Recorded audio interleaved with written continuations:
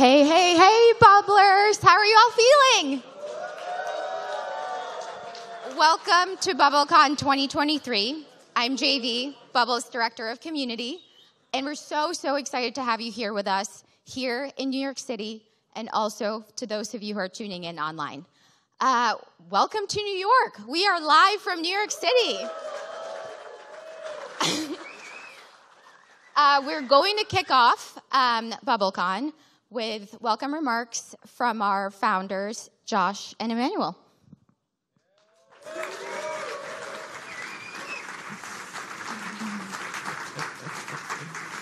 Hello, everyone. So my, my name is Emmanuel Straschnov, and I'm one of Bubble's co-founders and co-CEOs. And I'm Josh Haas, the other co-founder and co-CEO. And on behalf of the entire Bubble team, welcome to BubbleCon 2023.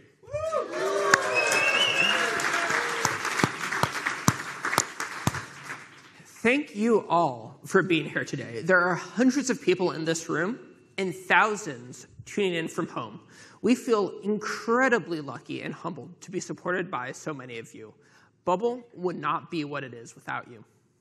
This community is really, really special.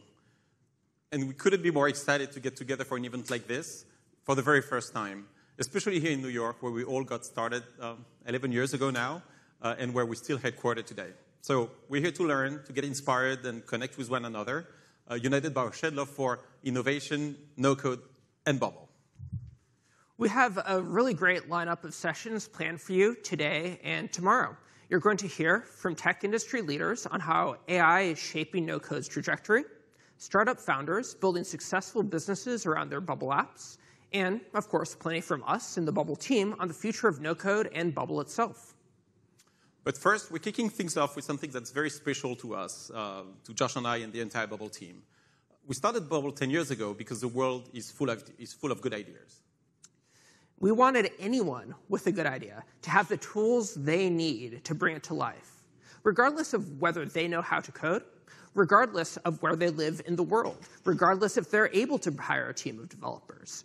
Bubble exists to make it easier for anyone to become not just a consumer of technology, but also a creator of technology. We believe that's the only way technology can make the world a better, more inclusive place. And, and, as we grew, we wanted to set up something that would make this mission even more vivid to everyone.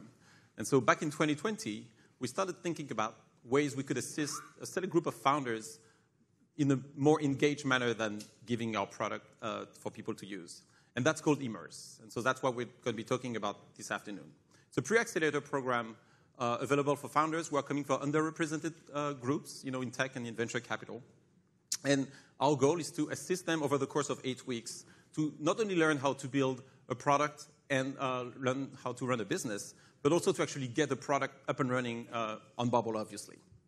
And so today we're excited to introduce you to our sixth cohort. Um, and there are a few fun facts about them that I wanted to share. Uh, the founders you'll meet tonight, or meet today, like in, in a few minutes, uh, that are sitting here, are coming from as far as Mexico, the United Kingdom, uh, California, and Vermont. They're ranging in age from their 30s to their 60s and have been operating their businesses from three months to four years, so pretty wide range. And most importantly, this is the first cohort in Immerse Histories that is a women-only cohort. Yes. Yes. Bubble being about democratization, it's very important to also make sure we have everyone you know, represented uh, in the Bubble community. Um, and so the Immerse program culminates with Demo Day, uh, which is what we're doing today, which is the pitch competition for the best project that we had in the class. Uh, and there are three prizes. Uh, so best product, best demo, and community favorite. And that's where you all come in. We figured what better to kick off these two days of building community and celebrating good ideas than have to all of you help us pick that winner and the community favorite. So we are holding our first ever in-person demo day right now. So without further ado, please join me in welcoming Nichole Bestman, our Director for Founder Inclusion, to run this. All right, all right. Thank you so much, Emmanuel and Josh. And so, like they said, my name is Nichole Bestman. I lead founder inclusion efforts at Bubble. And first, I want to talk a bit about why we're actually here, right? So, first thing we're celebrating here is entrepreneurship and no code. So if you've built anything in a Bubble, you have experienced what the Immerse founders have in just a condensed period of time. So the first thing they've experienced is speed, right? So we had one founder in particular who cited that in a self-imposed sprint of two weeks, he actually built 80% of his MVP during that time, right? We also are experiencing or actually celebrating the agency that comes along with building in Bubble as well. So again, if you've built anything in Bubble, you have felt that sense of ownership and control, right, with being able to implement something at the drop of a dime. And we're also celebrating a major milestone when it comes to immerse in women as well. So in particular, last year, according to PitchBook, only 2.1% of the companies that were actually funded by VCs last year were women-led startups. And so that wouldn't be a big deal if, in fact, women since 2019 were the primary demographic of individuals who are actually starting businesses here in the United States, right? So it's really important for us to be at the forefront of that given our mission. And so given that, we're celebrating a milestone. So this is our sixth cohort, as Emmanuel mentioned, but in fact, this is our first cohort of all women. So can everyone give a round of applause, please, at that? So let's talk a little bit about what happens next. So you will hear from four individual finalists, phenomenal finalists, if I do say so myself, um, who are in fact building in wildly different spaces and very different solutions. So we have Deb, who's building for disaster management. We have Vaish, who's building for early education. Princess for alumni management, and Ana, who's building for wellness and tech for pets. And you'll also vote your own community favorite as well. So that's our favorite part of the evening because not only are our judges going to be making decisions, you all will be as well. And you're also going to hear from our previous fan favorites. So this is probably going to be one of my favorite parts of the evening because if you caught our previous demo day, you voted yourself for Obi Chukwuma. And she's back again today to talk about what happens after Immerse? What does the trajectory look like when you're trying to go it alone, solo, building a business, which many of you in this audience actually have experienced, especially uh, the folks here who've started agencies. And for those of you who are online, you're going to be in for an even more special treat because not only are we showcasing and debuting our finalists, but you'll also get the opportunity to tune in online and hear four more additional pitches and products that will be debuting for the very first time.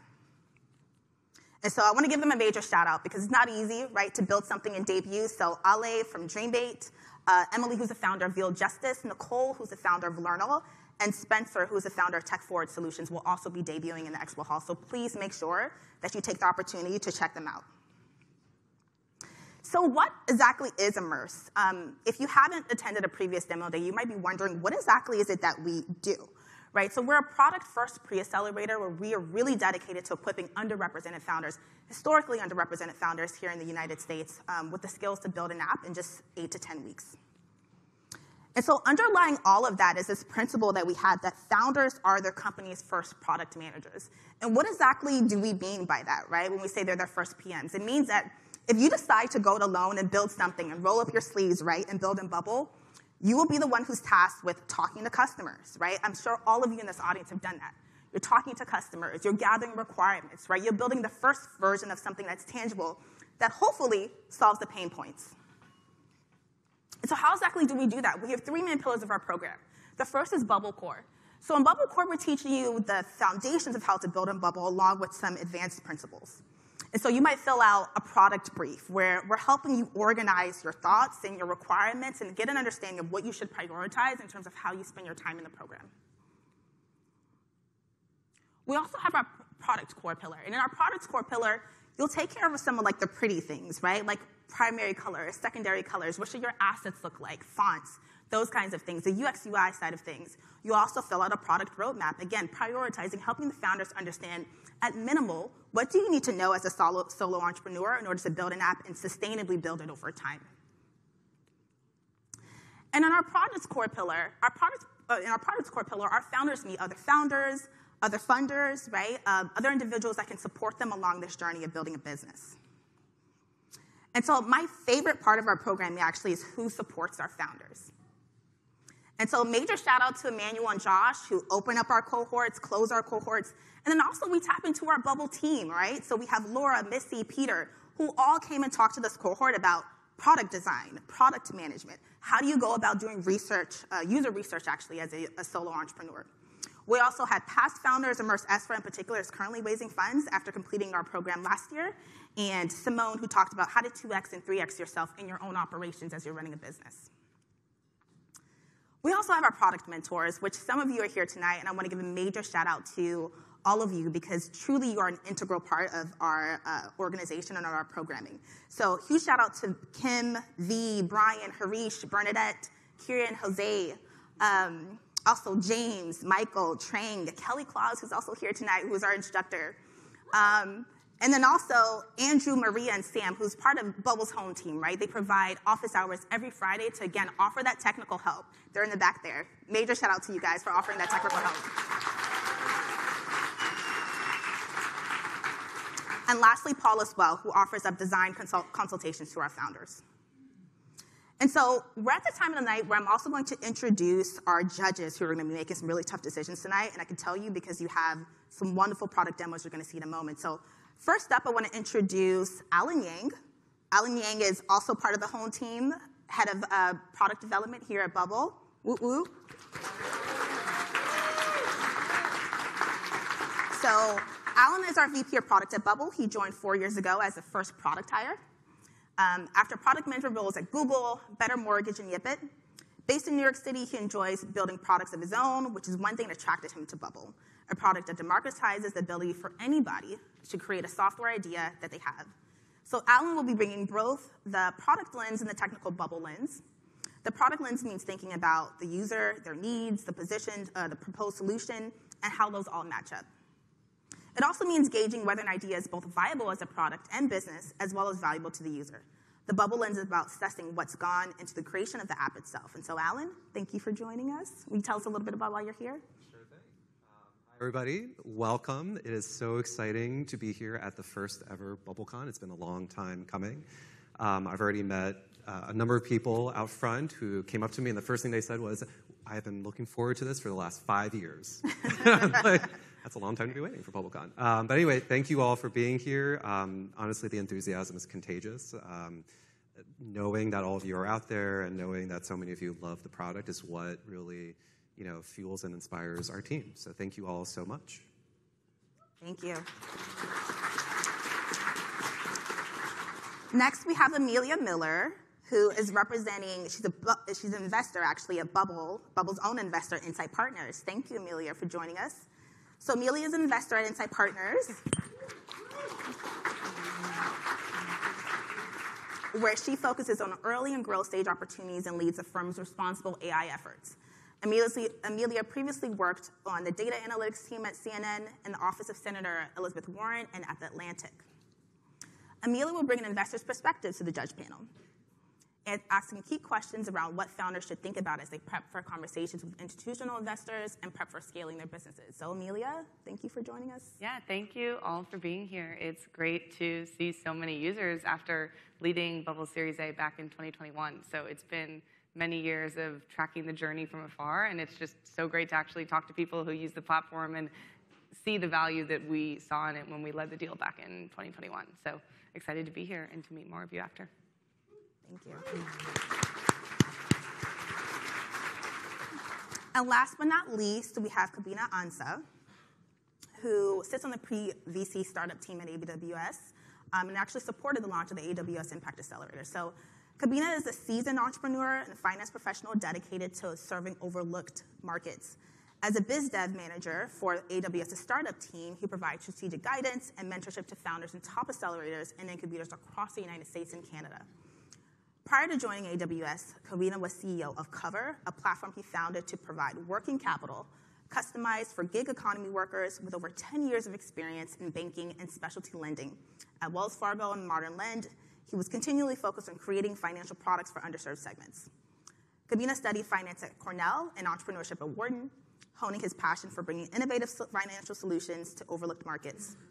With firsthand experience as a founder and now mentoring over 200 startups annually, Kobina has an in depth understanding of the entrepreneurial journey, and on the panel, he'll provide insights on key factors that set high growth companies apart from those typically less likely to succeed. So, Kobina, thank you for joining us. Thank you for having me. I'm really excited to be here to see these awesome founders who are disrupting spaces across education, animal well-being, building of networks, and at AWS have the opportunity to meet with many different companies, many of which built incredible foundations and the starts of their MVPs through Bubble. So really excited to see uh, the awesome companies that are going to be shown tonight. Thanks for having me. Thank you. So before we go on to the judges, um, and actually the judges deliberating on what we're going to see tonight, let's talk a little bit about where you come in. So there's three things I want you to do. First, follow along and take notes. So if there's a product or a founder here that really resonates with you, you think maybe there's someone in your network that they should connect with, take note of that, right? And connect with the founders during networking afterwards. Secondly, all of you should have downloaded Hopin. I know everyone here has. Um, we're going to be throwing out some polls throughout the evening, right? So download it, answer those polls. We want this to be as interactive as possible. And lastly, we want you to spread the word. So I'm sure all of us here had that friend or family member that's been talking about the same business idea for the past five years, right? So maybe they'll be inspired by what they see tonight, especially given this group and who they are and how fantastic. And they showcase that anyone can build in Bubble and anyone can learn in Bubble. Um, we want to make sure that if you have that friend, you are tweeting out and talking about what's in you here today. So just use these hashtags. Do me a favor. Hashtag Immerse Founders hashtag immersive bubble, and hashtag BubbleCon 2023. And with that being said, we're going to call up our very first finalist of the night, and I know we're going to have a thunderous applause for Ana, who's building in Bubble to strengthen the bond between human dog families. So, Ana, come on up. You got this. You got this. Okay everybody. It is so special to be here, and especially with my cohorts who we have worked very hard, and we're very happy to be able to introduce all this work to you. And uh, so I hope you enjoyed my presentation. So I'm Ana Saldaña. I'm excited to be here. I'm the founder of Moolli. This is a human and dog wellness app. So I have to make a question to everybody. How many of you have pets? Raise your hand. Wow! A lot of people have pets. Oops. I'm trying to switch to my slide, but it's not working. Yes?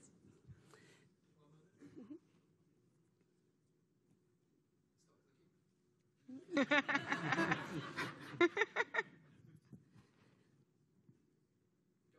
okay. We got it. So you raised your hand and you're like the whole world. The world loves pets. Pets are on the rise. There are 1 billion pets in the world, and 50% of the world has a pet at home. This is an irreversible trend. Pet ownership is rising globally. Millennials and Gen Z account for more than 60% of pet ownership. One in three homes has a dog, and 90% of dog owners consider their dog part of the family. But this is not only about the amount of dogs. Pet owners are big spenders. For example, Nestle's half year results reported pet care as their biggest growing category. It grew 15% when the all around growth rate was 8.7. And this is because the market keeps on growing. We will launch in Mexico but this is a global trend around the world. There are more dogs in homes and less babies. In Mexico, for every baby in a home, there are 18 dogs. In the US, there are 24 dogs for every baby in a home.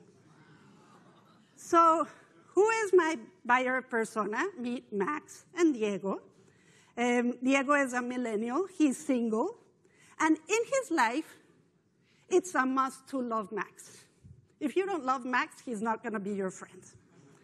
And Diego is never able to take Max to the vet when he needs it, which usually means that whatever problem he has is made worse because he has to wait a few days. For example, if Max eats a toy, he just eats it, and if it's like here, they'll say like, oh, let's go to the vet, and the vet can do something quick about it. But what happens if he's waiting like for two, three days, and the toy is just traveling along. And what it means is that eventually he's going to go to the vet and he's going to require surgery.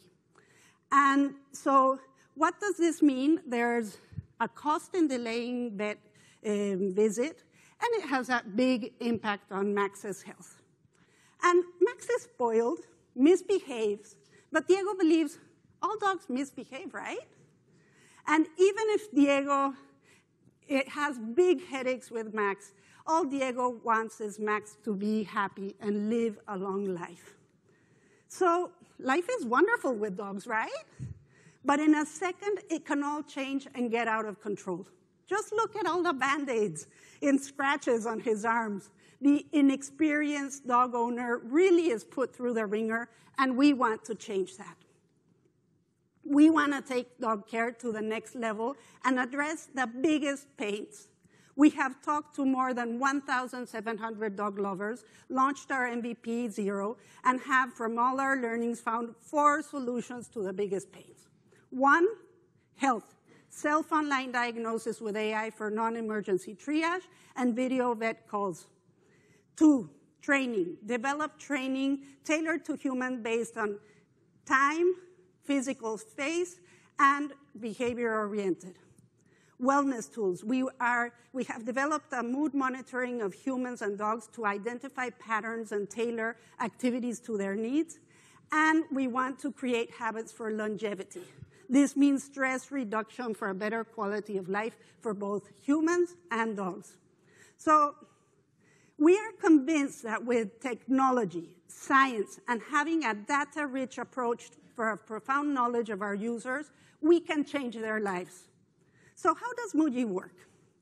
We are asset light. Humans can pay as you go or subscribe to a membership plan with some perks. For vets, it's another story, and that's like a whole different app. But we also built it on Bubble. And the idea is we are creating the Uber for vets. We plan in the future to expand to other latitudes, more pets, all kinds of services, create the first fully functioning dog passport, increase the research of human-dog science, but finally, and most important, connect in virtual and literal sense dogs and humans. Yes, connectivity is everything. Current developments in dog wellness will allow for dogs to have a chip inserted under their skin and provide real-time information on their health, and this will connect them with a human. But there are other ways to be connected through their moods combined with their health data. They will receive personalized programs, and you will, able, will be able to connect with like-minded people in our community. We are about building predictive tech throughout what we do because we want humans and dogs to live a better and happier life. And I could not have a presentation, and you will all agree if you have a dog, you probably have more pictures of your dog on your cell phone than your own, uh, without introducing you to Kala. She's a mischievous three-year-old border collie and my co-founder. I'm a lawyer, ex-management consultant, worked for the last 18 years as a host and producer of my own TV cooking show, and I'm a member of the Association of Animal Behavior Consultants. And talking about co-founders, we are building a team of serious dog lovers. Please sign up on our waitlist and download our app. We just got approved at the Google Store today, so we're going to start testing it. And so I would love to have uh, more testers. Please sign up on our waitlist. Tell your vet friends to contact us. We are looking for a CTO, growth, and data scientist. And if you loved our idea, we are always looking for angels or investors. and I have had the most amazing advisor in this bubble journey. Thank you, Jos, and thank you, Bubble, for this founder changing opportunity. Let's start changing the way the human dog world is connected today and have a real impact on their lives for happier multi species families. We hope for to hear from you soon. Thank you.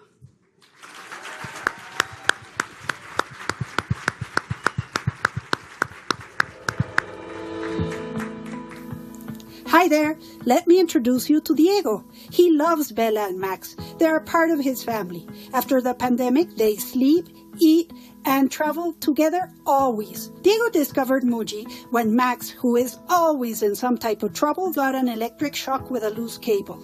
Who finds a loose cable on the beach? Max does. We know. Everything is perfect till it isn't. Emergencies happen when you least expect them, not only during office hours. Diego found us through Google. He got an overview of our app in the onboarding process.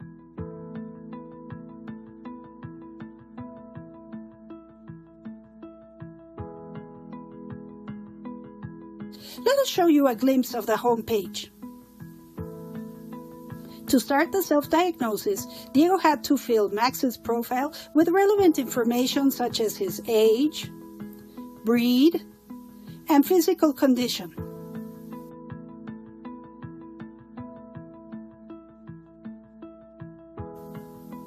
Diego can add as many dogs as he likes, and every dog has their own profile. Then he was able to continue with the diagnosis, answering some questions such as emergency questions to make sure he's not wasting precious time.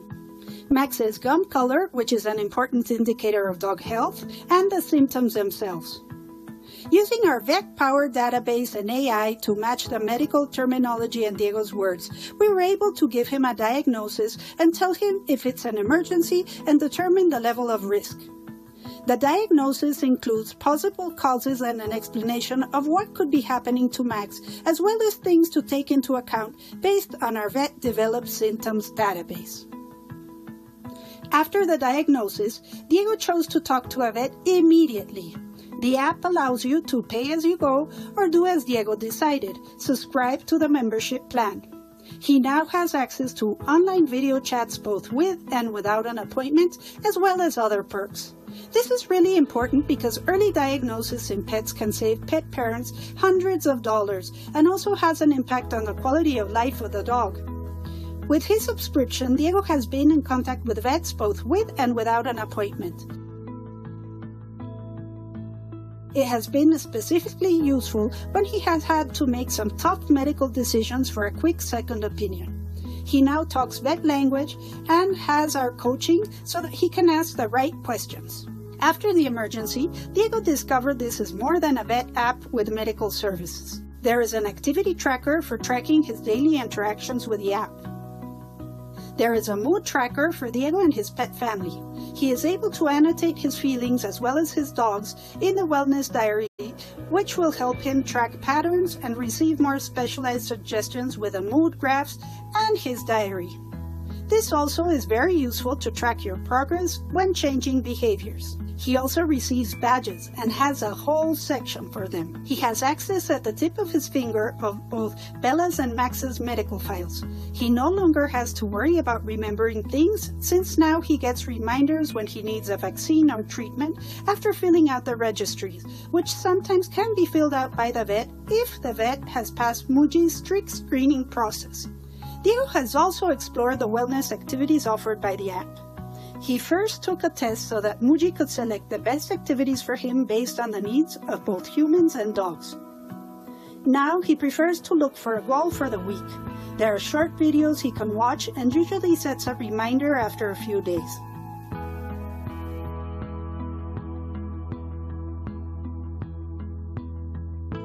Life with Moolli has changed the home dynamic for Diego, Bella, and Max. It would seem everybody is less stressed and happier. They have better communication, a stronger bond, and 24 7 vet care at the tip of his finger. Diego hopes this will mean a longer life together as a family. He just wants the best for them. Sign up for our waiting list at moolli.com. This is M O O L L I.com. Bye bye now.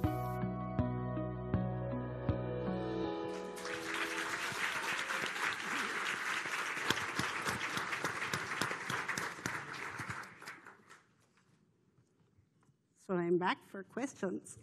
I guess I'll start with one. So uh, you highlighted how large the market is and how many people have pets within their homes. So one may assume that there are many others going after this space. Would you be able to highlight who you think your key competitors are and what your key differentiating factors are?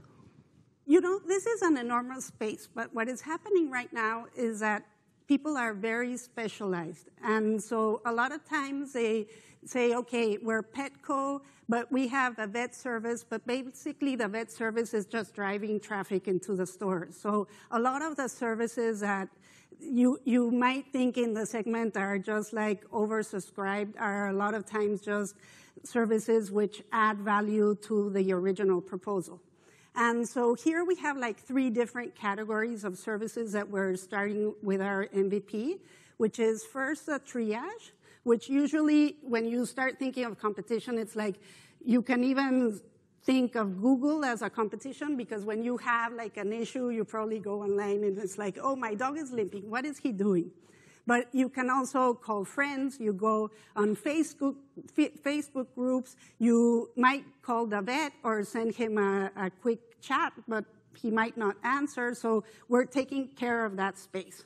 Then we're also taking care of video consults with a vet, but that means that we are competing with vets who have their practice, mom and pops. But the thing is, when you think of millennials and their complicated life, it's not like they can tell their, their, their boss, like, oh, I'm not coming into work today because I have to take my pet to the vet.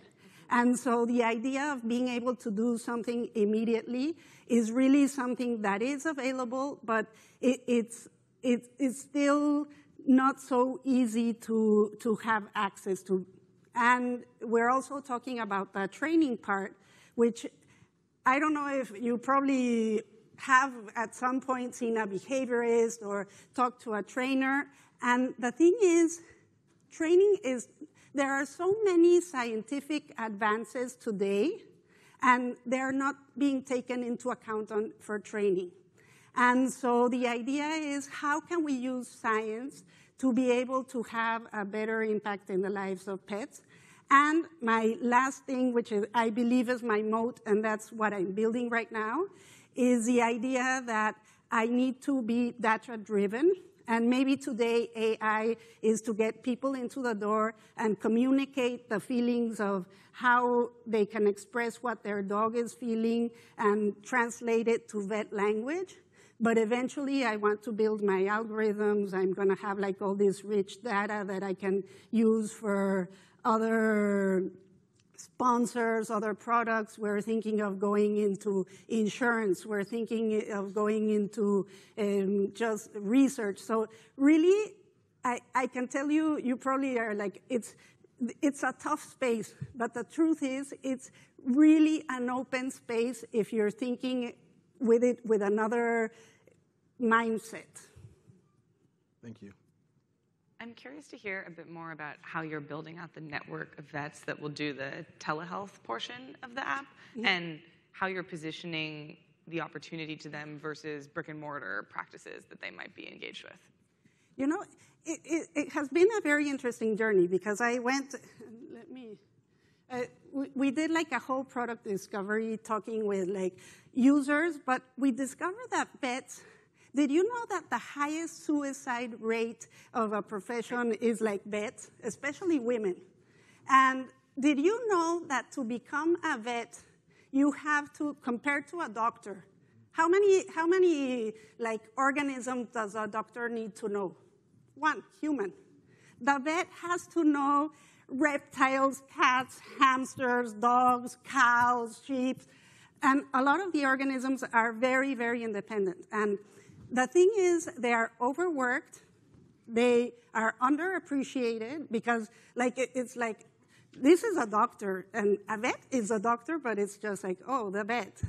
And so, what we found is that if we are able to give them alternative sources of income so that they can hire more people into their business to work so that they're not like having to answer at a wedding that chat of the, of the owner of the dog that's having like a problem. Um, we are thinking of how we can help them also. Mom and pop stop, uh, stores don't have access to x-rays and all these like more complicated um, equipments, which are required to taking care of a pet who has like um, can't talk. What I can say is they all bark, and so this is good for me because if I understand the bark, I can solve it. But they still can't talk. And so the idea is that we're going to be just doing a pilot right now. We're hiring a team of three vets who are going to launch the, the pilot and go from there. We're launching in Mexico City because it's a highly populated area. We know the areas in which pets are concentrated, and so we're really trying to get this going in a sense that it will really be able to just roll out in, and grow, but right now it's just going to be concentrated in Mexico City.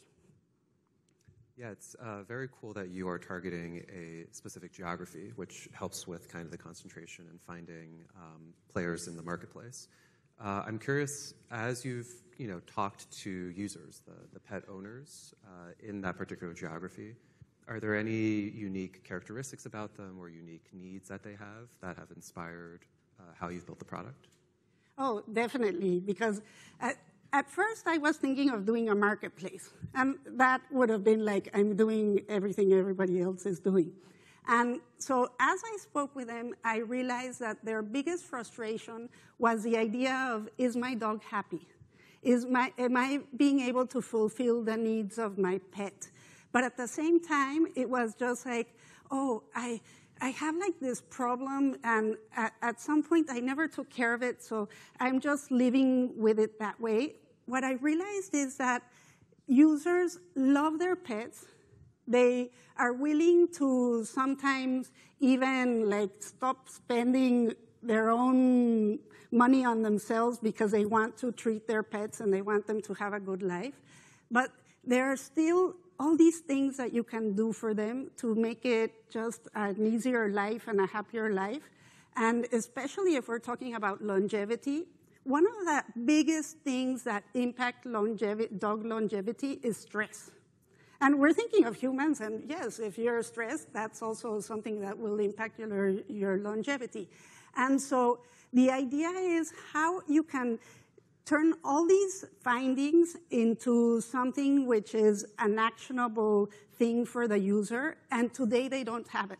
And so the idea is how I can give you a program and tell you, you know, these are stress indicators. This is how to read the body language of your dog.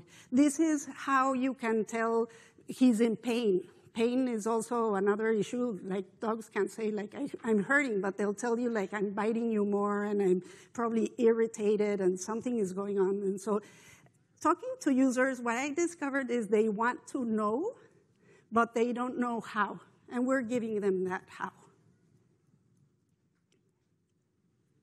Thank you. Thank you. Fantastic job. Great job. All right, so thank you so much, Ana, for being the brave one to go first. Um, so in our first poll, we asked, we're trying to get an idea of just who is everyone here? Like, what's the breakdown of who we have? And so we have about 60% of the audience and online as well, where we have, I think, 11,000 or some odd users tuning in. Um, are actually 60% of those individuals are founders and entrepreneurs, which is really cool. Um, another 20% are like no code newbies, right? Which is also pretty awesome. People who are very new to the space, and like many of you, are starting the no code, no code journey for the first time. Um, and another 20% are actually bubble developers. So please keep answering these polls so we can get to know you a little bit further. Um, now, next up, we're going to have our second finalist of the night, which is Princess. So come on up, Princess.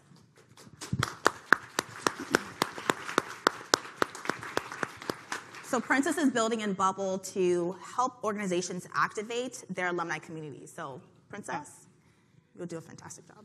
Thank sure. you.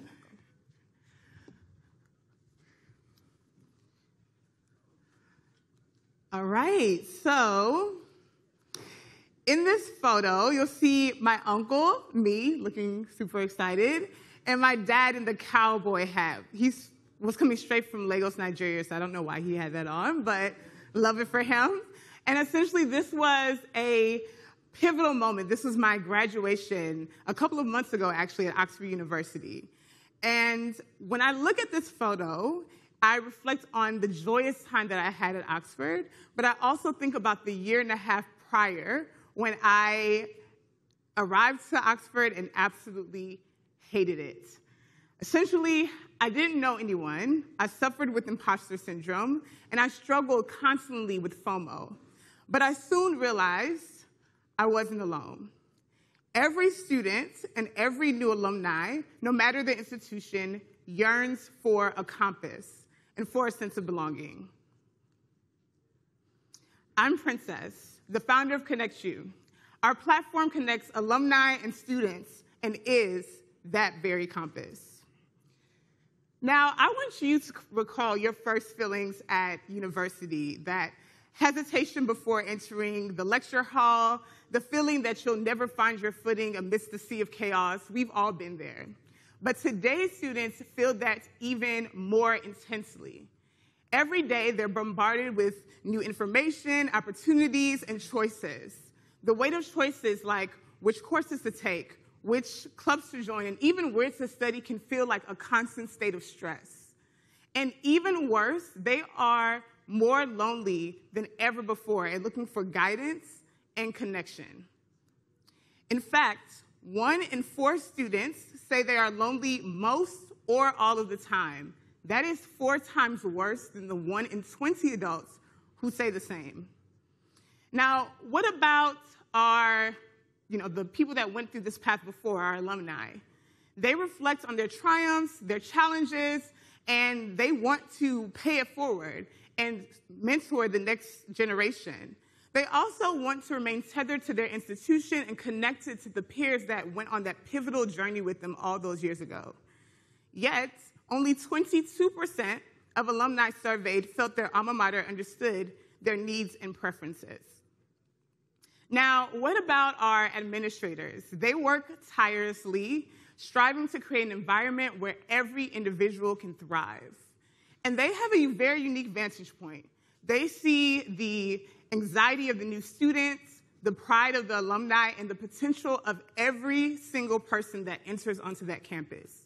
But what they need is a tool that connects all of these different individuals and bridges these experiences.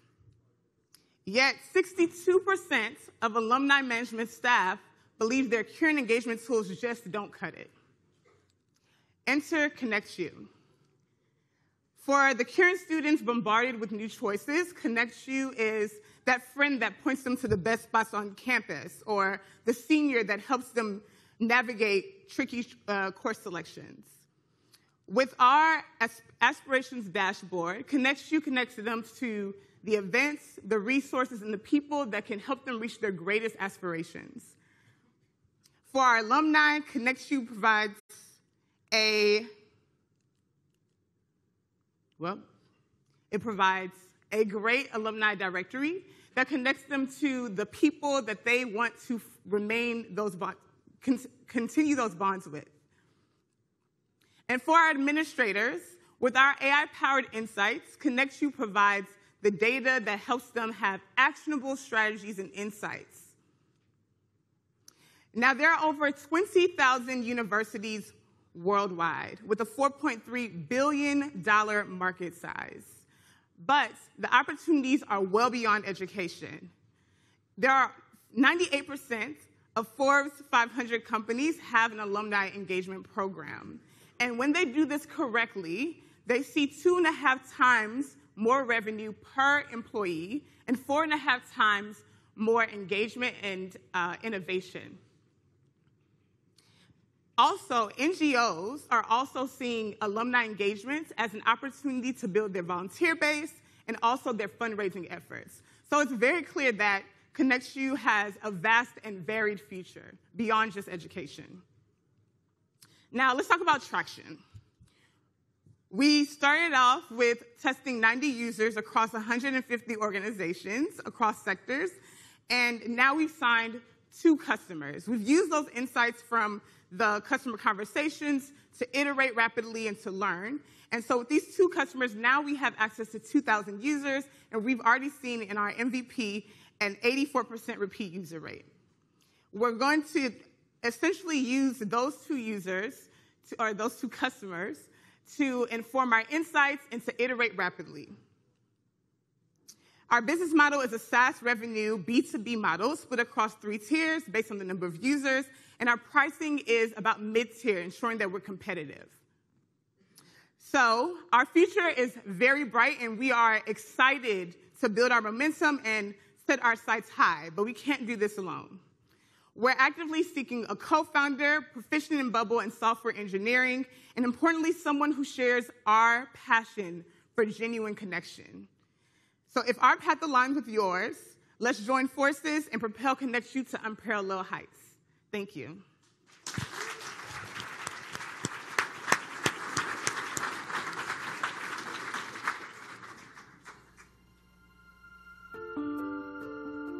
Meet Prin, a recent graduate of Oxford University who's just received an intriguing invite from her college an invitation to Connect You, the white label AI powered platform tailored for current students and alumni. Eagerly, Prin initiates her Connect You journey. She enters her basic details, proudly confirming her alumni status and her graduation year. The platform then invites her to detail her experiences spanning the cities she's lived in, worked, and studied, as well as her industry experience and career journey. Next, Prin is asked to share her aspirations and objectives. Dreaming of a future in Africa and a pivot to climate consulting, Prin fills in her aspirations. Her interest extends beyond work. She's eager to learn local languages, hoping to gain a competitive edge in her new career path. Prin then indicates her interest in receiving a mentor. Now, here's where You truly shines. Instantly, it understands Prin's aspirations and already begins to present potential mentors that align with her goals, even before finishing sign up. A management consultant from South Africa, catches Prin's eye, and a quick dive into Nomplay's impressive profile solidifies Prin's choice. As Prin wraps up her registration, she uploads her profile picture, uses her university email for verification, selects the password, and effortlessly links her LinkedIn for easy updates. Her Calendly is also synced, streamlining appointment scheduling and ensuring optimal meeting times with her new connections. Upon logging in, Prin's attention is immediately captured by a pop up. It's an active fundraising campaign from her college at Oxford University, Hertford College. But this isn't any random campaign. Using the data Prin provided and her studies at Oxford University, Connect You, with its smart personalization, deduced that Prin would likely be interested in the Hertford Sustainability Fund. Why? Well, research has shown individuals are more likely to donate to causes they care about, and Connect You knew of Prin's strong inclination towards climate consulting. Captivated by the tailored approach, Prin is moved to donate. She could, however, choose to click Hide Announcement. Delving further into Connect You's features, Prin encounters the Aspirations dashboard. This integrated feature is designed to allow both alumni and current students to track and measure their progress against their professional and personal goals. Interactive, user friendly, and data driven, the Aspirations dashboard offers a clear visual representation of her progress and achievements. Beyond the donation, the Making the Pivot career event is hard to miss. Connect You's hyper personalized touch ensures events near Prin's location are highlighted. As she scrolls, a treasure trove of resources emerges each tailored to her aspirations and career stage. Hyper personalized events, blogs, webinars, and other resources pop up, each aligned to Prin's interests. Now, the game changer daily personalized connections. Connect You intelligently matches Prin with potential me- mentors and peers that will best help her reach her highest aspirations and goals. Every day Connect you suggests three top potential connections. Today, Megan stands out an alumna who once inspired Prin with her talks. An efficient system, Connect You proposes an optimal meeting time, eliminating the age old back and forth scheduling.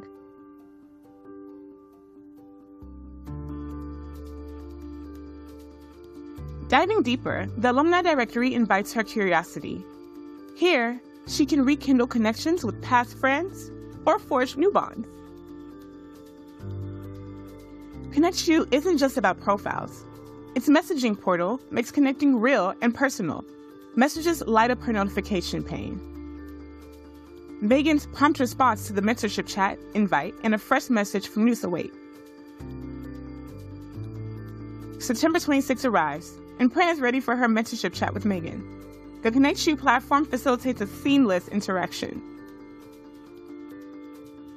Upon concluding, Prin's prompted to leave feedback enhancing the platform's future mentor suggestions and providing admins of mentorship programs at Oxford with valuable insights. From the student view to the admin's eyes, from valuable insights to mentor pairing to alumni database updates, they're all automated. With these insights, fundraising efforts are now laser focused, resonating deeply with alumni passions. From students to admins, let Connect You connect you. Visit theconnectyou.com.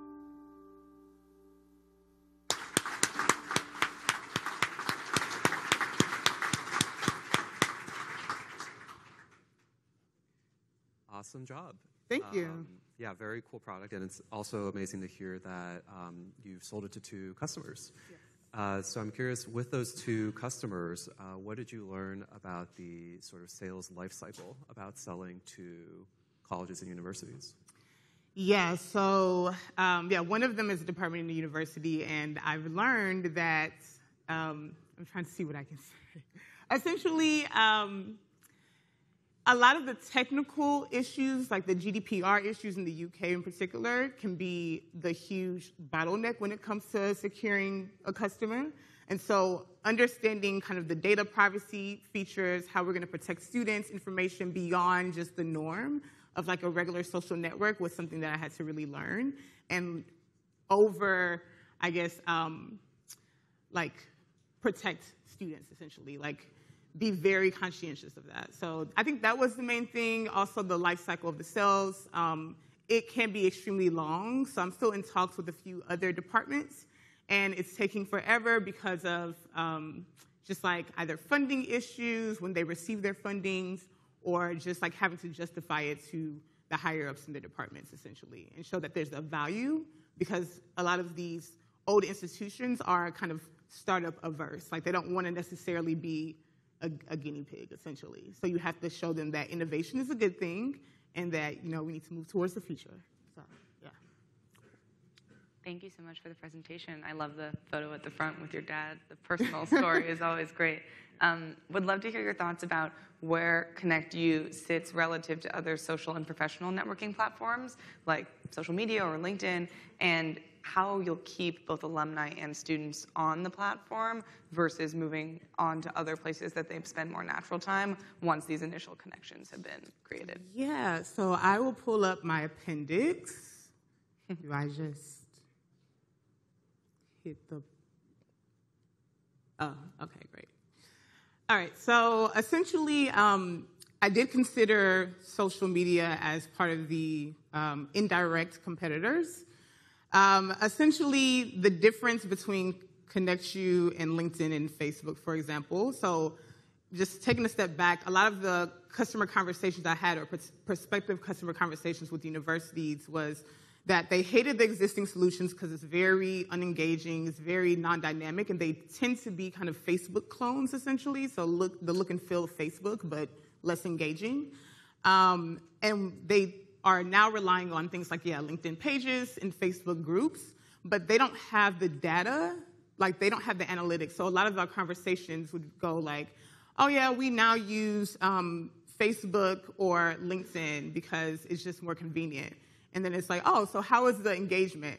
Oh, well, we assume it's great. Like, I mean, they don't really like our posts, they don't really speak in the group pages, but they're making this assumption that maybe they're getting you know, people are DMing each other and like having those peer to peer conversations, but they have no proof of this. And so, something that really stood out to a lot of the um, universities I spoke to and NGOs and even law firms I spoke to was this idea that they would actually have an in depth look of those interactions and be able to say, look, our mentorship program is working, or you know, our community engagement is increasing significantly with this new webinar that we did. Um, so yeah, that's I think that's the major thing. And then as far as I think your second part was the differentiator with. Um, sorry, I missed the second piece of your question. Just curious how you'll keep people engaged on ConnectU versus yeah. going off platform once you've made these matches that are valuable to them. Yeah, so I think the huge thing is how do we add value to the users and how do we make it as convenient as possible? So, for example, from the alumni perspective, a lot of us, I'm a new alumni and I'm getting tapped often by current students like, hey, can we have a 30 minute coffee chat or whatever? But the back and forth with scheduling is so difficult that I oftentimes, like, it just takes forever. Um, I also, when I was a current student, was a part of two or three mentorship programs actually for different clubs I was a part of. And I ended up not meeting with any of my mentors because we just couldn't schedule our calendars. And so having something like ConnectU where you go in, it suggests the time that works for you both. You don't have to go back and forth anymore. And it makes also everything convenient from like, okay, here are the resources, here are the events, and here are the people that you should talk to and that you should connect with in order to advance to your aspirations. It makes it a lot more clear for them and more of a value add.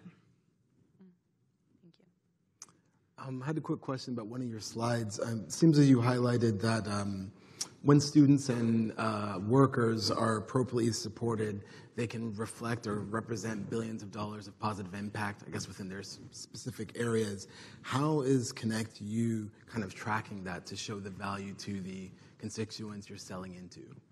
Yeah, so how do we show, essentially your question is how do we show value to the institutions? And track, I think, the, the economic value or impact. All the economic. Highlighted in that slide. Yeah, so one of the prospective customers I'm talking to, they're trying to increase their fundraising amongst alumni. And so something that we will be able to track is, okay, so here is bespoke fundraising campaign. So like in the video, it showed that um, the fundraising effort that was shown to that individual was one that they would actually be interested in. So there's that. And then the clicks, the click through rate for that would be measured as well as kind of connecting each individual's uh, donations from that click through. So, um, for example, one of the possible departments I would be working with, they wanted to embed Connect You onto their platform or somehow like link it to their platform.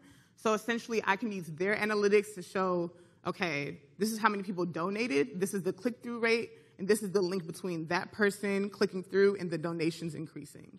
I don't know if I explained that clearly, but yeah, hopefully. Yes, certainly. Thank okay. you. Any other questions? All right. Thank you. Thank you. Good job. All right, thank you so much, Princess. That was fantastic. Um, so I quickly want to read out on our second poll. So we asked who or what excites you most about no code technology? And we had about 60%, 60 to 70% of you said it's the speed of development and prototyping, which I think it's obvious. All of us agree that we love the speed that we're able to achieve with Bubble. So that's fantastic. Um, but about 24% of you said that the other thing that really excites you is just the, the democratization of, uh, of tech right? So I think all of us are really excited about the fact that we can get more people who have been underrepresented or more people who haven't historically been part of the uh, or have had the ability to be able to build tech, they now will be able to. So I think all of us are very much on the same page about that. With that being said, we are going to bring in our third finalist of the night, which is Vaish. And um, what's really interesting about Vaish is that she's building in Bubble to help kids nurture a love of storytelling and reading. And so she's going to come on board and tell us about what she's built. Everyone give her a round of applause. Thank you. All right, you got this. Wow, it's so great to be here. BubbleCon folks, how are we doing today? Quick show of hands. How many of you have read anything in the past hour? News, Twitter, email? Okay, okay, all of you. I see you're at least reading my slides, so that's a good news. Um, we don't think much about reading because it's in our nature. It's become second nature to most of us, and we don't even take a second about it. That was a pun intended. Um, neither did I. I grew up loving to read, and I always enjoy reading even today. But that changed for me this March when I started appreciating reading anymore. I was sitting on my couch and reading on my laptop, and my four year old nephew was playing next to me with his toy truck. He walked over at some point, peeped into my screen, shrugged, and walked away. That little incident triggered something in me. I felt really guilty. So I quickly pulled out a couple of his books and started reading out to him. He did not budge. His toy truck was way more interesting than whatever I was reading to him. But something magical happened in a few moments. He started narrating a story about a carrot shaped truck. I never imagined it. I got really excited. Being the AI nerd that I am these days, I quickly pulled up ChatGPT and DALL-E and created a story. And what was wonderful was we spent the next one hour completely engrossed in that story. We really enjoyed reading together. And that's when I realized there's something magical about this experience. I asked myself, would other kids benefit from this? I reached out to about 40 other families to find out what they were up to. And every single one of them, not skipping one, said the exact same thing to me, which is, Can you teach my kid to read? I was kind of surprised by the resonance of this feedback. Why was this the unanimous piece of feedback that I was getting? I reached out to teachers, educators, VCs, founders in the edtech ecosystem, and they all pointed me out, pointed out to me that we have a reading epidemic on our hands. I know that's a scary word these days. But it's interesting because less than half of the kids aged two to five are read to on a weekly basis, which means they build no intuition for reading, no appetite for storytelling. This compounds further into one in three kids being able to read at or above grade level at, you know, when they're in fourth grade, which means we lose about 67% of our learners already. Isn't that crazy? And this compounds in one in six high schoolers, which is 1.2 million teens dropping out of high school due to illiteracy related reasons. These stats are really, really crazy. These kids are also growing in a very dynamic world, very different from the one I grew up in. A kid aged between two to eight years spends about two and a half to three hours a day on devices. Two and a half to three hours. But 73% of that is just watching videos, 16% on gaming, and a mere 3% on reading. That stopped me. I paused to ask myself, what can we do to flip this ratio?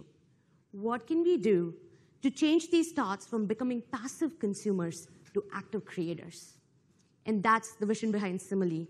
We want to use the power of games and adventures to help kids learn to read. Because we believe that reading should be like gaming, exciting and fun. Because why not, right? We want reading to feel adventurous, powered by their own curiosities and explorations. We want reading to feel tailored to their imagination, their interests, and their pace of learning. We have something for the adults too, don't worry.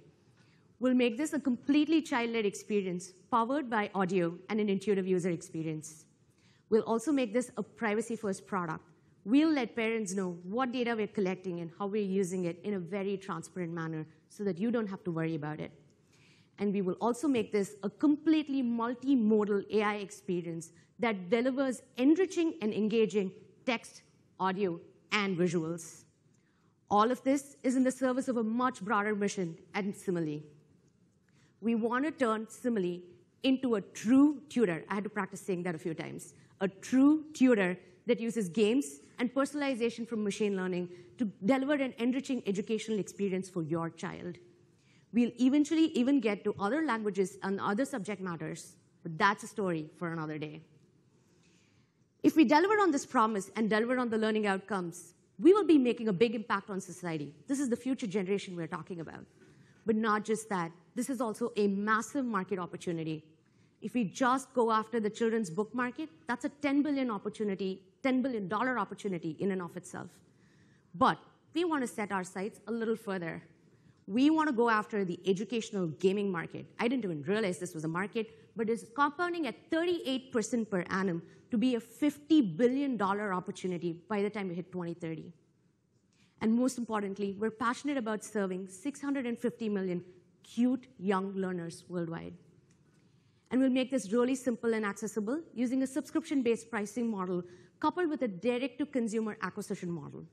We'll start with parents who care the most about this problem and scale through partnerships with schools, reading-related nonprofits, and other stakeholders in the educational ecosystem.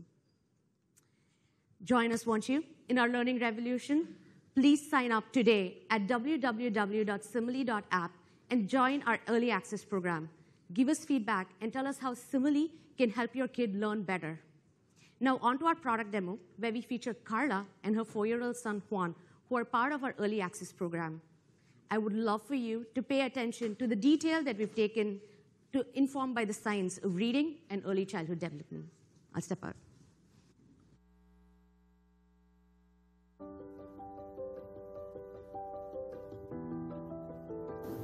Carla loved to read books when she was growing up. She has a four year old son, Juan, who is not taken to books and reading as much as she had hoped for him to. She gets really concerned but comes across Simile in her search for solutions. Simile makes reading feel like games and play, and she knows that Juan would really appreciate this approach. She decides to sign him up. She starts by entering in her email address and password and clicks on sign up. She's then thanked for signing up and told to take a minute to set up her child's experience. She starts by entering in some of the basic information required by the application. She decides to skip adding an image for now. She knows she can always come back to it later. She's then asked to pick at least four character categories that Juan would really enjoy. She reviews the grid and picks four that she knows Juan would really appreciate she already gets the value prop of simile. She clicks Finish Setup. She's then told that she's completed the onboarding process and that for the next step, she needs to have her audio on and have Juan nearby. She's in the middle of something, so she decides to come back to it later. Later that evening, Carla sits down with Juan after dinner time. Since this is their first time using this application, she decides to start by clicking on Start a New Story. Hi there! Welcome to Simile. Let's pick a robot friend to help you. Click on a robot to hear how it talks. When you like one, click the green button under it to choose. Let's play. Juan is delighted. He really likes the voice of the bot and appreciates all the color on the screen. He wants to try a couple of voices. Hi there. I would love to be your simile bot. That's too slow. Hi there. I would love to be your simile bot. He really likes that voice, and his favorite color is orange. He picks that. Hello, Jungle Explorer. Ready to uncover hidden treasures in our story jungle? Swipe to find a character you like. Tap on it and click on the green button. Juan loves swiping, so he checks out all the characters and decides to pick on Terry the train. Now, find a setting you like, tap on it, and click on the green button. You're almost there. Juan really likes how this image looks, so he picks that for his first story. I'm writing your special story. As you wait, can you pop the balloons which have the sound shown in the box? In this game, as he waits for his story to load, Juan reviews the sound that is presented in this box above and then matches where the balloons show that sound in the words that they display. He has fun clicking through this, especially because he loves bursting balloons.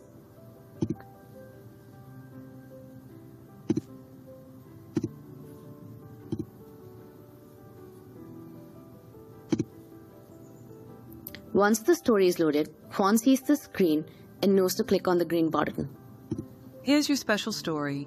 Tap the arrows to turn pages. Hit the heart to save. Use mute for quiet reading and the speaker to hear the story. Harry's terrific train adventure?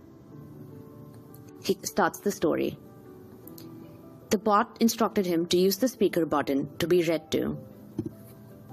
Once upon a time, in a quaint Victorian train station lived Terry, the train.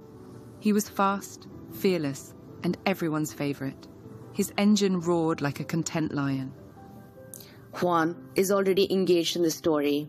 He flips through the rest of the pages and reads all the pages. And then he clicks on the heart button because he really likes the story. Juan logs in back the next day and wants to go back and read some of his favorite stories. He navigates to the Favorites tab. Welcome to your favorite stories. Click on any of them and read that story again. He's super excited to revisit the story about Kathy the cat, so he clicks on that. And then he can reread the entire story the same way he used to. Carla also wants to take a look at Juan's engagement on the app, so she navigates to the Parents tab and is greeted with a dashboard that tells her the number of stories Juan has read, the number of stories he's favorited, the number of characters he's explored, and the number of phonics he's been exposed to. And there's a detailed table showing all of the work that he's been doing so far on the application. She is pleased. This is the most Juan has read since she's bought any books for him. Simile has the power to personalize and grow increasingly complex as we teach the kids how to read using this application. We will be adding more interactions, more comprehension related stuff, and more gamification and badges along the way. We're super excited about our roadmap and the power of AI to radically revolutionize kids' instruction.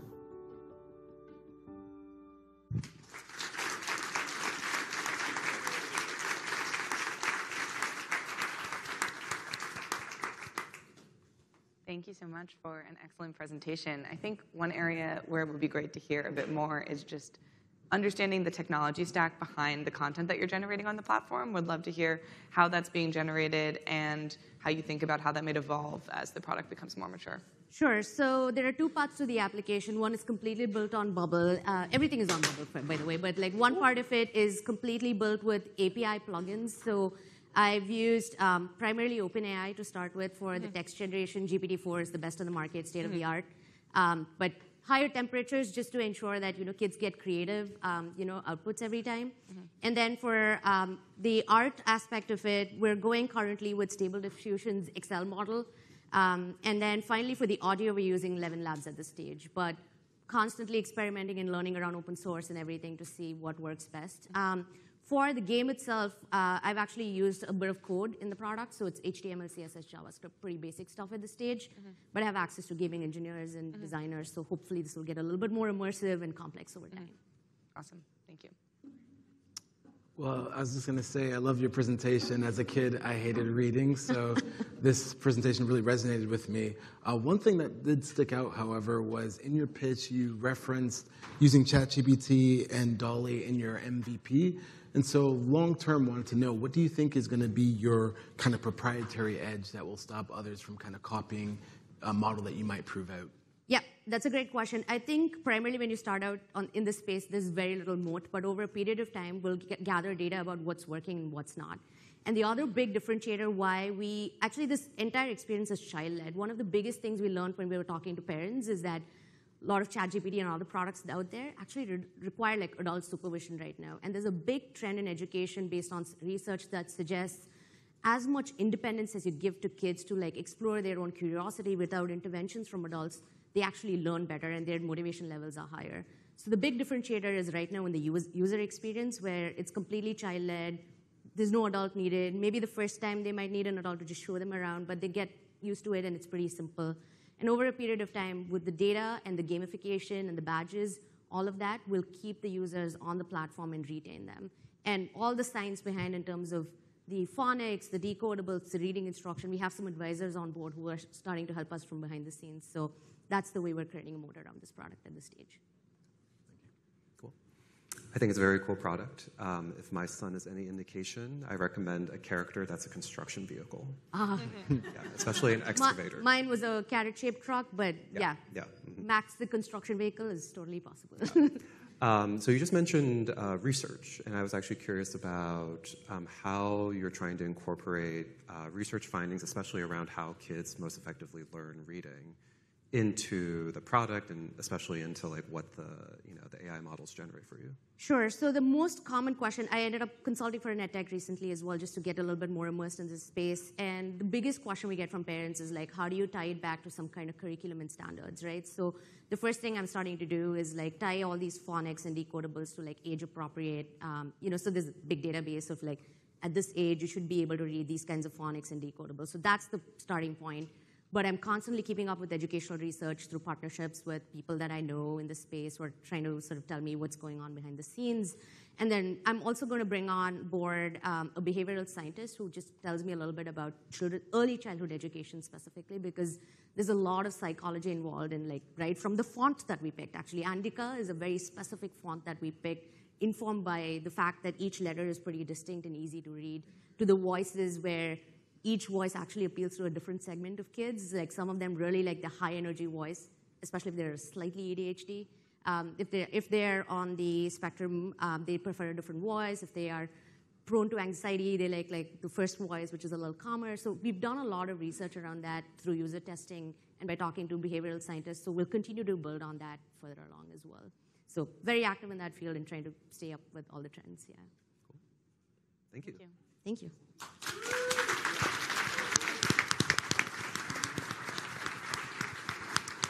so much, Vaish. We appreciate it. That was a fantastic pitch.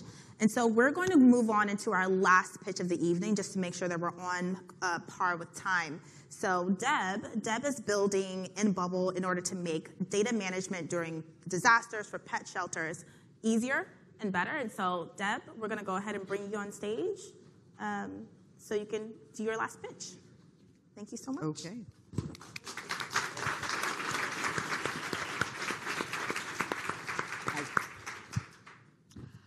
So I would like everybody to clap if you have experienced a disaster or any kind of extreme weather in the last five years.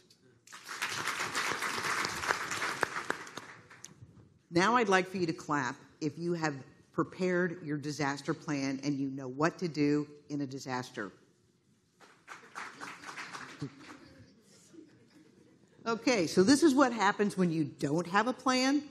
This is a picture from Katrina, and I don't know if any of you remember Katrina, but here in the US, it was a really dreadful, dreadful hurricane, and it was so powerful. When I saw this image, I thought, this is not good, really not good. So in 2018, I kept thinking about this image and being a big, huge animal lover, I couldn't not think about this. So I joined the Central Vermont Disaster Animal Response Team. And I was absolutely stunned in 2018. 10 pieces of paper, lots of the same data on every single page, was required for every single pet that you filled out when they're in emergency shelter. And I thought, wow, this is not good. So I decided to take my 30 years of experience building websites and mobile apps to start developing a tool that volunteers could use. Now, you may ask, why doesn't this exist already? Well, volunteers don't have a voice or financial support at the national level. So, one of the things to keep in mind is that there are sort of three stages there's before, during, and after before a disaster is really critical because this is when you figure out where are you going to shelter, what's the building, who's going to help provide the supplies. Do you actually have trained volunteers? Because if you have a pet, you want to make sure that whoever's with your pet knows what they're doing. Then, of course, there's during the disaster. And during a disaster, it's really important to document all of the information that you're managing the care of the pet.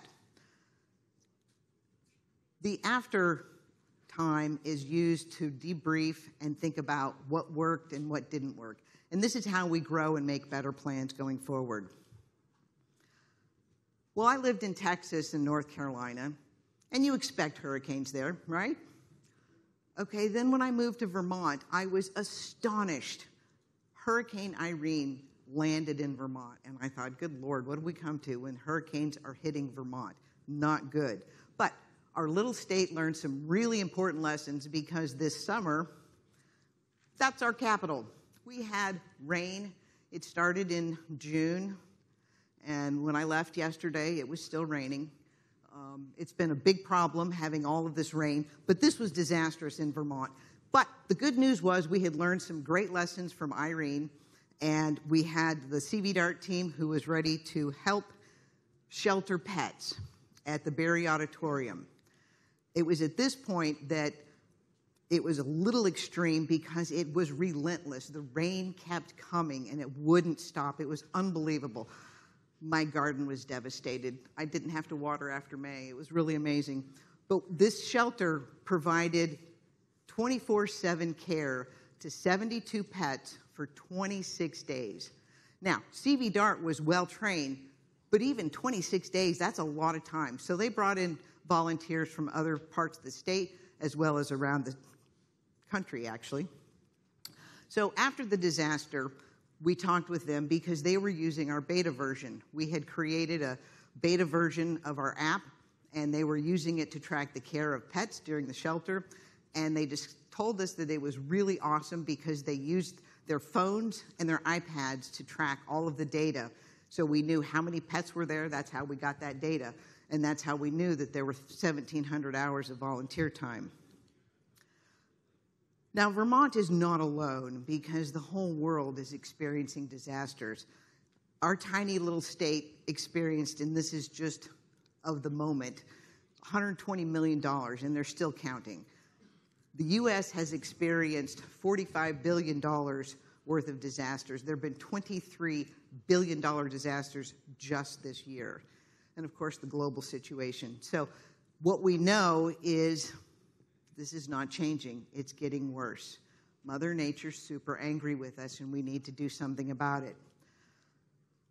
Well, what I've done is I've taken my experience and I'm building this app to help volunteers have a operational platform so that it starts from before with the planning and it goes all the way through the disaster management.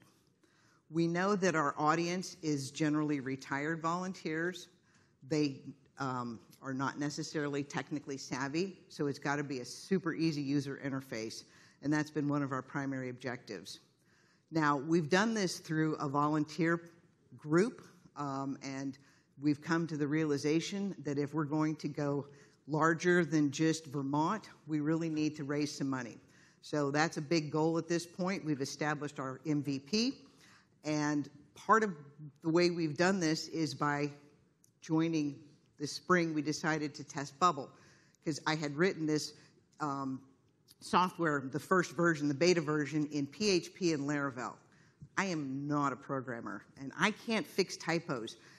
We had several, and it's very expensive to do that. So we started exploring Bubble this spring, and then I got a letter, an email actually, saying join the Immerse program.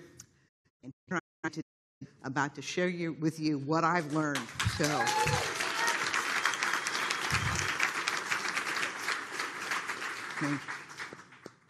We've got a lot more going on. What I'm only going to show you is our MVP, which is the emergency pet shelter module, but we have so much more that we want to do because it's a really intense project and takes a lot of data. So um, I'm going to show you the MVP, and we've got volunteer organizations across the country who've already contacted us. And the, the dots that you see are people who've expressed interest. They would like for us to show them a demo. They're ready to keep moving forward. So, the first year we were in business, I started the nonprofit in 2022. We raised just under $13,000. That's not much money. That all went to that PHP program, just letting you know that. Um, this year we've got a grant, and, and all of this has been done through grants and donations, small dollar donations, let me point that out. But they make a difference. And so this year we have gotten a grant, and we're hoping to raise more funds this year through donations, grants, as well as getting some corporate sponsorships. These are a few of the organizations that I've worked with over the last several years who actually don't have a whole platform, an operational platform to work from. We also see them as potential customers. Now, what you're going to see in the demo is uh, Kate is the shelter manager, and this is based on a true story. I've changed the name of the cat to protect its innocence. and I do need to give you a spoiler alert because I don't tell you in the demo the cat's okay. So, I'd like to do an extended thank you to my team members and all of the folks who supported me through this process. And I also want to give a special shout out to all the Bubble folks, particularly Kelly and James, who helped me through this process. Yes.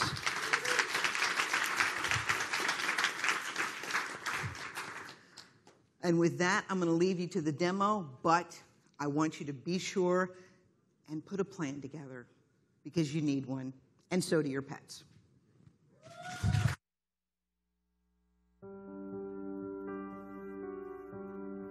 Kate is the shelter manager and has returned for her shift at the shelter.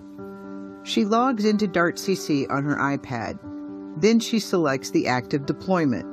All pets who are staying at the shelter show on this roster page, giving the volunteers a central location to see who is in the shelter.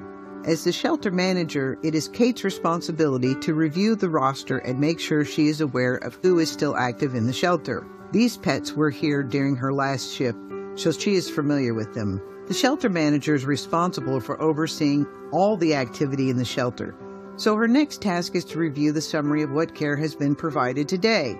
She clicks on the daily care summary to see what has been completed. She notices that Mischief has a note to check the medical records as he has not been urinating. Yesterday, one of the volunteers told her they were concerned that he has not been urinating, so she checks the medical care summary to see if there are any updates. Kate is relieved to see that the vet is checking mischief, so she heads over to the medical care area of the shelter. As she is walking, she clicks on Mischief's profile to familiarize herself with the details of Mischief. She double checks the Daily Care tab to see the details and scrolls down to review the documentation from her team. Her team has been noting their concerns. Details like this are important, and DART CC makes tracking this information easy. Kate arrives at the medical area of the shelter and clicks on the medical tab. The veterinarian lets Kate know that Mischief is in need to be released so they can take him to the medical facility. Kate selects the record feature to quickly document what is happening with Mischief. Mischief will be transported to the clinic to complete care, and the owner will pick up Mischief once he has recovered. Mischief may return to the shelter if they have not found other housing. While this is completing the process, the vet says Mischief was very fortunate that the volunteers were paying attention to these details. This could have been deadly for him had they not been documenting these observations. Kate clicks to complete the transcription process, double checks the notes, and makes an additional comment on the information.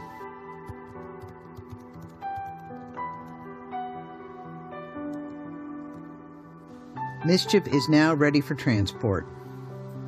Kate clicks on the Final Release tab to complete the release process. She asks the vet to sign for the release of Mischief.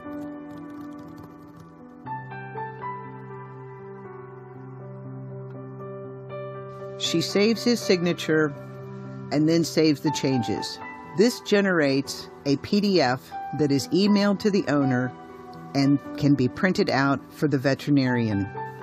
Now, both the owner and the vet have a complete history of the care Mischief received while he was at the emergency shelter.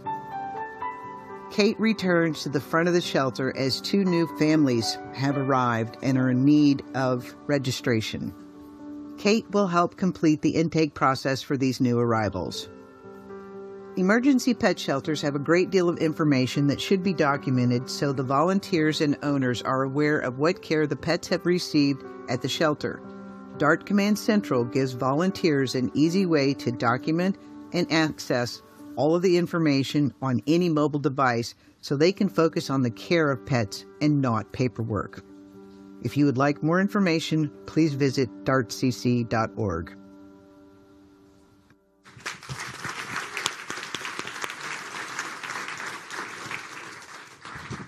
Here I am. I'll, I'll kick it off. Okay. So, in your presentation, you highlighted that your goal, I believe, in the next 12 uh, to 24 months will be to raise uh, $500,000. How might that support um, this endeavor? How would you use those funds? Well, all the work has been volunteer up to this point, so we're hoping to pay people. That would be the big part of it. Um, and we've got a couple of different areas that we really want to focus on because we've got seven modules. And so the next thing that's the most complicated part is scheduling, and we'd like to do that next because what we understand is that if we can master scheduling, that would really address a lot of our organizational partners. Thank you. Sure. I'd love to hear more about what the existing solution set looks like. What are shelters currently using to tackle these challenges? And to the extent that there is a competitive landscape with other, you know, technology vendors, would love to hear your perspective on it. Sure. Well, the biggest competitor that we have is paper. and um, you think I'm kidding. I'm not kidding. Um, there, I, I spent three years searching to try and find a solution.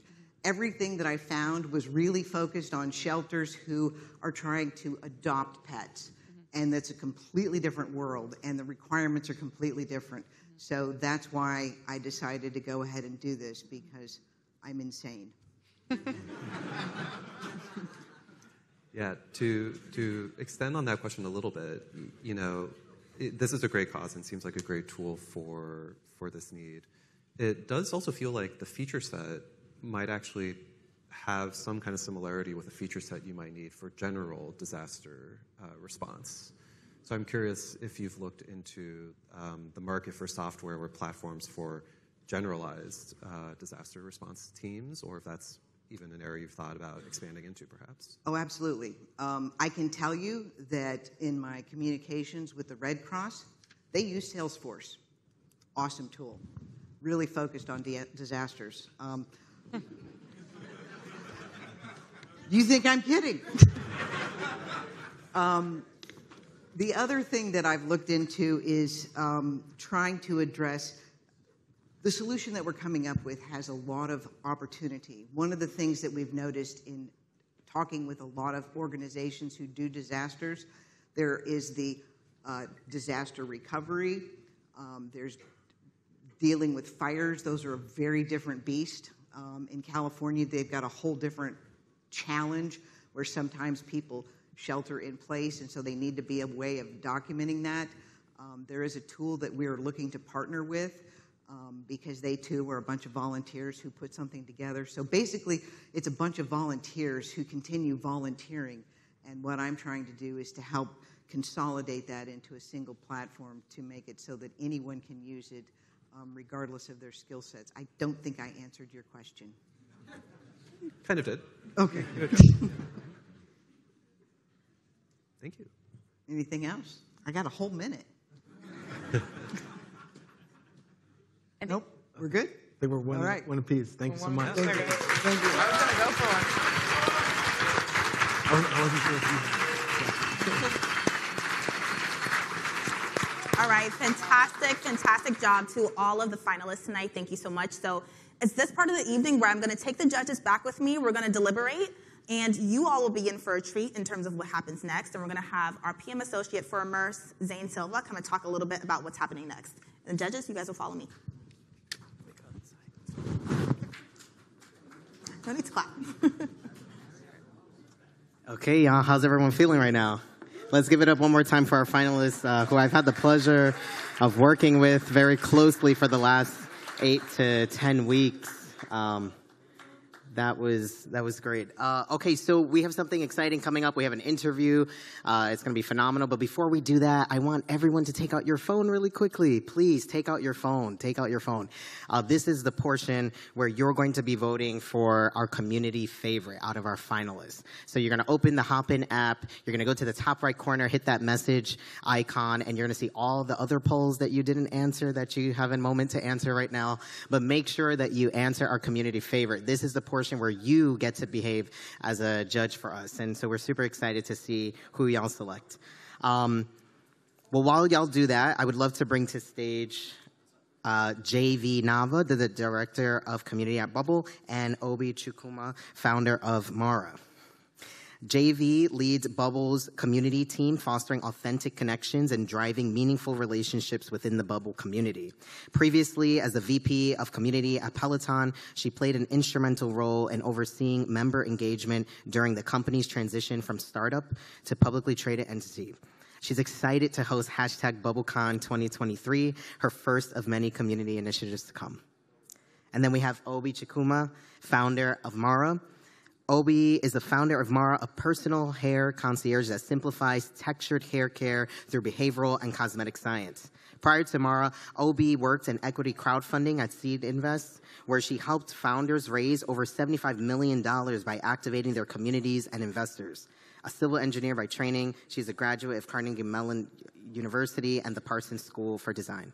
I'd love to welcome them on stage. Thank you.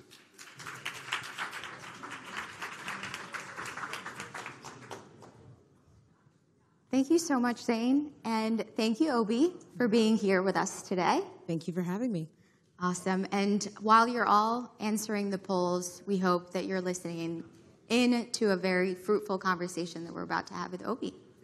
Um, first of all, congratulations on winning fan favorite from the last cohort, which was, I believe, in February. Yes. Um, for those tuning in with us online and here in person, can you refresh and share with us what MMARA um, is solving?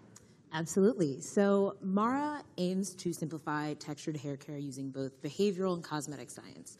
And we really want to educate and empower our users to be able to take full control over their hair. Um, and the reason that we're doing this is because one of the main issues in the hair care industry, especially the textured hair care industry, is misinformation. It's rampant. And we found that very early on when we were testing that if we just gave people more information, even if we said it was science backed, we're kind of just adding to the overwhelm because essentially they get this and they're like, why should I believe you over this other article that also says it's science backed? And how on earth can I apply this to my actual hair and what I actually need? And also, this doesn't fit in with my lifestyle, so is it even helpful? Um, and so that's when we realized that in order to actually help users, we need to provide that information, but we also need to turn it into a way that they can establish healthy hair care practices and do the heavy lifting for them. And so, you know, what does that look like? That looks like analyzing trends in your breakage and actually being able to get ahead of it, give you helpful tips and tricks for how to mitigate it. Also looks like improving your shopping experience in store. So, for example, if you're scanning a product, you just want to know if it works for you. Now we can do that for you and provide you a nice score that lets you know the likelihood it's actually going to work for your hair profile. Um, and that really just lets users focus on their hair and let us focus on all the other stuff. That's awesome. That's great. I feel like I definitely need to keep track of that. Um, and personally, we need to use that. and can you tell us what happened with product development in particular since February? Absolutely. So after Immerse, we actually attempted to do a beta. Um, it did not work for a lot of reasons. Um, essentially, the web app that we had built, um, actually, I should add this context. We're building a native app. And so everything that I had built during the Immerse program was really just a glorified mobile responsive web page. Um, but a lot of the functionality that we had built really isn't meant for that. It really needs to be tested and tried in your hands when you're mobile, you're on the go. So very quickly, we realized we needed to kind of change gears um, and actually start preparing for the full app wrapping process. And so that's what we started doing. Um, for those who haven't done that before, that means you need to turn all of your web pages into one page. Um, and so a lot of it was rebuilding that. I also just got a lot better at Bubble.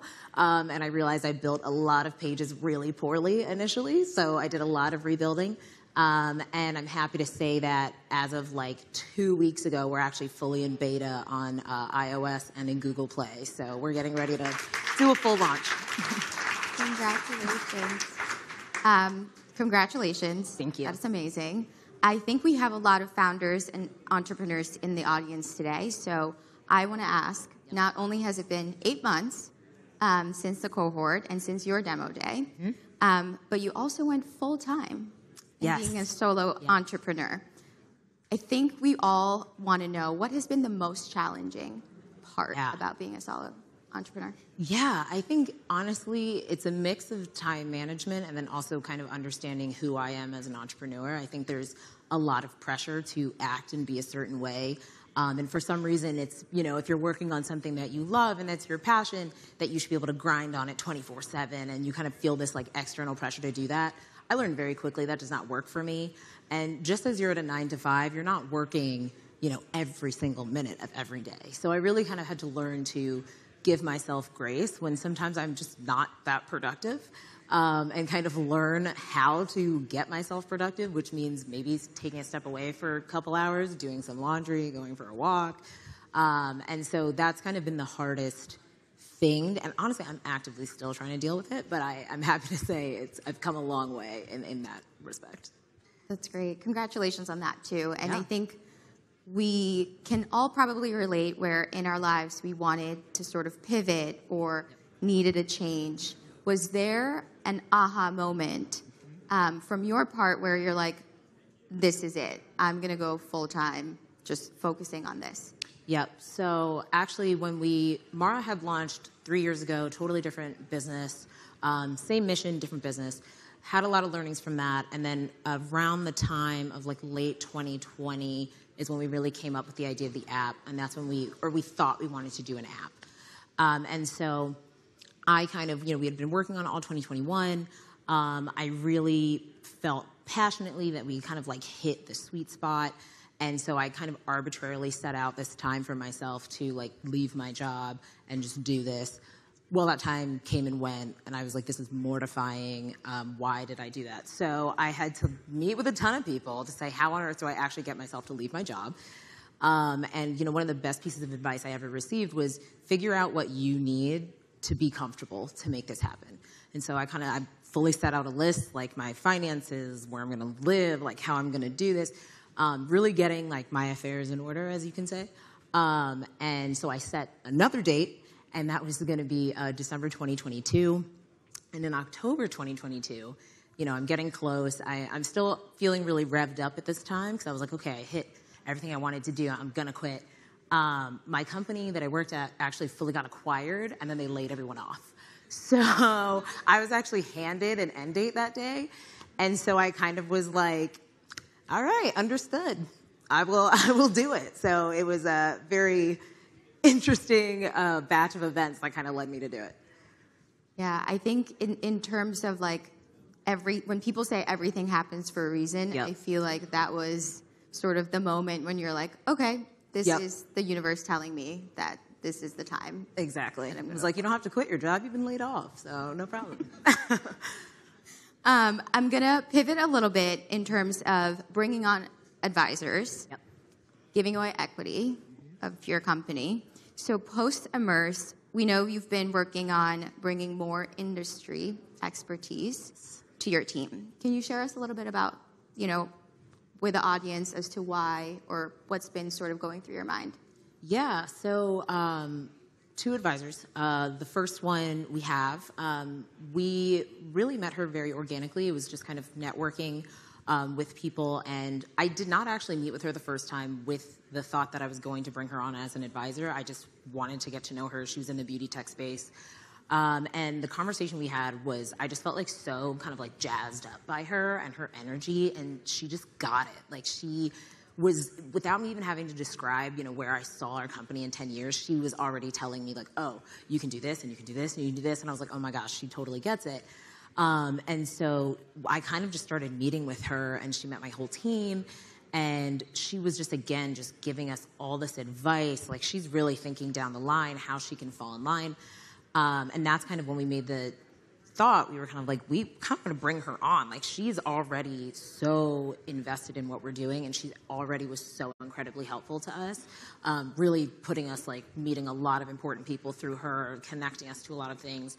Um, and so we made the decision to actually bring her on. And she is a formal advisor. She advises a lot of startups, and she actually owns an incubator herself. So she was very happy uh, to, to, to join our team.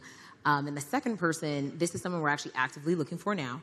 Um, so if you're a cosmetic chemist, hit me up. um, but we just realized that, you know, we're building a science based tool. I am not a cosmetic chemist.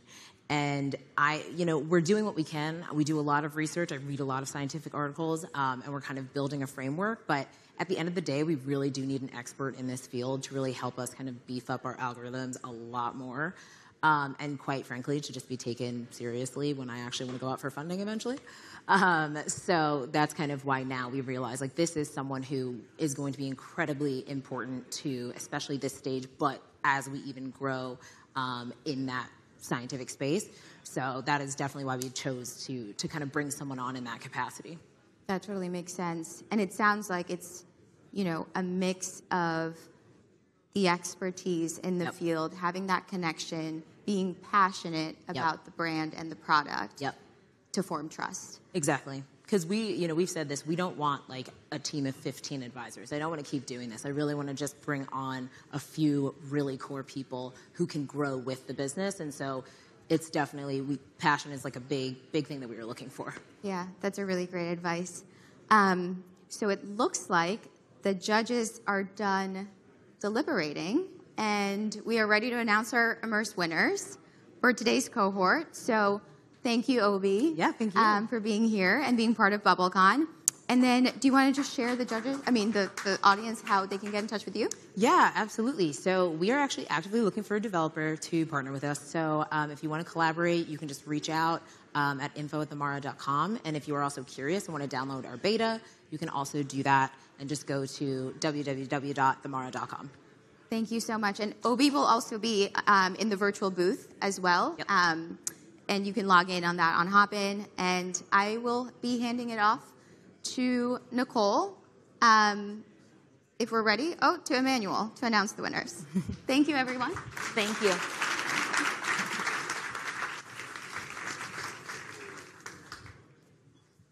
All right, so it's this time of the evening where we're going to talk about who are and announce our finalists um, and our grand prize winners. So, Emmanuel, why don't you go ahead and take it away?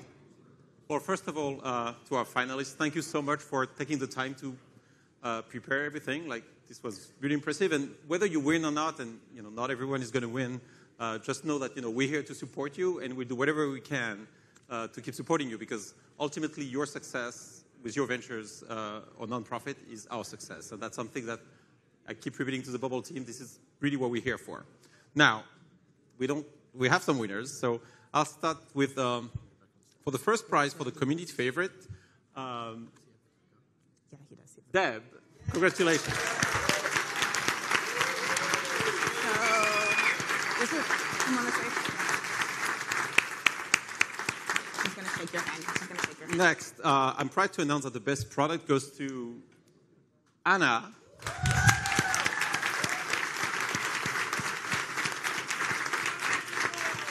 And last, the grand prize uh, for the best speech will go to Vaish. All right, let's bring the check. Bring the check. The check. All right, let's give everyone here another round of applause. Truly, great job, everyone. Great job. Okay. All right. Okay, Vaish.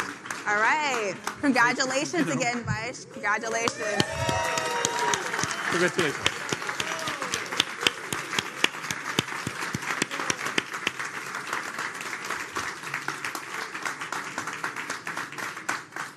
All right, thank you all so much.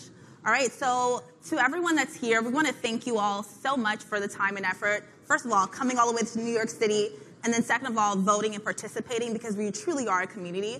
And so I want to just wrap up by saying a couple things. One, if you're tuning in online, please go and check out our expo. We have another round of fantastic finalists who are going to be presenting and debuting their apps for the very first time, so please check them out. Secondly, if you're a product mentor, um, or if you are a product developer and you've been building a bubble for some time, please sign up to be a product mentor. Truly, all four of our finalists here tonight did not get here without their product mentors, some of them of which they've shouted out. So please, if you're interested, come talk to me, come talk to Zane on the Immerse team, and let's have a conversation about that. Third, please join the Mentor Network um, as a guest speaker. And lastly, if you're interested, sign up to, um, to, to debut in our, our Winter 2024 cohort. So that wraps up day one, everyone. Congrats to all the winners. Make sure you check out the virtual booths and actually the Bubble certification team. Um, thank you for tuning in, and we'll see you tomorrow for the keynote. All right, we'll see you at the happy hour.